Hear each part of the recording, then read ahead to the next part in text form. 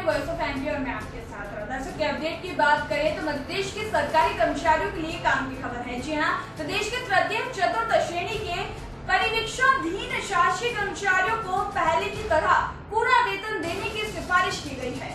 दरअसल मध्य प्रदेश राज्य कर्मचारी कल्याण समिति के चेयरमैन राज्य मंत्री दर्जा रमेश चंद्र शर्मा ने मुख्यमंत्री शिवराज सिंह चौहान को पत्र लिखकर शासकीय सेवा में सीधी भर्ती के तृतीय चतुर्थ श्रेणी के पदों पर चयन होने पर तीन वर्ष की परिवीक्षा अवधि पर नियुक्त। कर्मचारियों को उस पद की वेतनमान के न्यूनतम का प्रथम वर्ष 70 प्रतिशत, द्वितीय वर्ष में 80 प्रतिशत तृतीय वर्ष में 90 प्रतिशत राशि स्थायी फंड के स्थान पर पूर्व की भांति परिवीक्षाधीन अवधि में मूल वेतन एवं भत्तों सहित प्रदान करने की मांग की है। उन्होंने अपने पत्र में लिखा है कि पूर्व में नियुक्त तृतीय एवं चतुर्थ श्रेणी कर्मचारियों को सामान्यतः दो वर्ष कालावधि के लिए परिवीक्षा अवधि पर नियुक्त कर महँगाई भत्ते को छोड़कर समस्त सुविधाएँ प्रदान की जाती रही है। अनुरोध है कि शासकीय सेवा में सीधी भर्ती के तृतीय एवं चतुर्थ श्रेणी के पदों पर चयन होने पर दो वर्ष की परिवीक्षा अवधि पर